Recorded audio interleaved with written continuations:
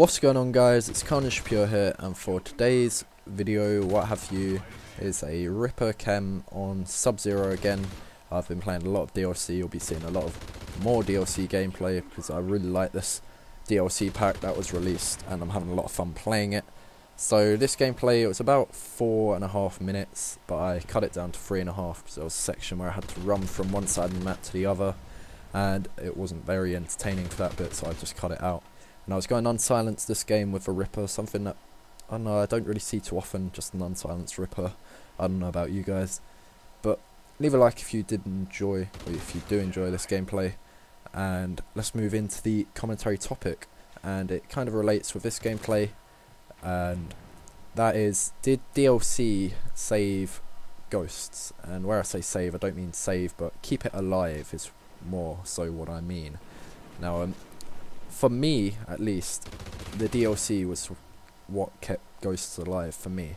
Because if there was no DLC, I would not be still playing Ghosts. Simple as. I would have stopped playing Ghosts a good few months ago because I would have been bored, there would have been nothing to do in the game, it would have just been the same old. Everybody would most likely have left the game.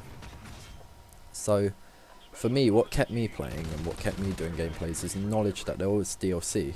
And that DLC comes in many forms, whether it be DLC guns like the Ripper, DLC maps like Sub-Zero, or DLC camos. Something that changes our views on the game, or something that changes how we play the game, so it feels more fresh and there's something that we haven't actually done before, such as putting on a new camo that is a DLC camo.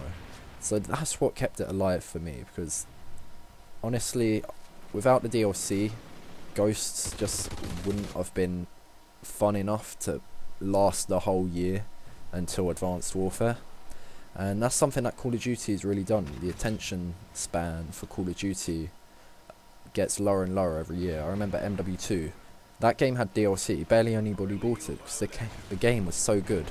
It didn't need DLC. Everybody was still having fun playing the standard maps and using the standard guns. You know, nobody cared really about the DLC. Sure, I mean, if people bought it, but it, it, it didn't matter. If you, you see where I'm coming from, that game was good enough to last the entire year and more, because when uh, Black Ops 1 came out, people were still playing MW2.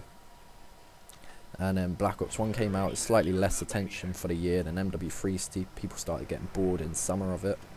And then, um, what was it, after BO2, people getting bored of it by summer pretty much, and Ghosts only lasted a few months, to be honest. So Advanced Warfare really needs to have that attention span and then um, have good DLC that keeps the game alive as well. Or if not, just have the game as itself good enough so it can survive without the DLC.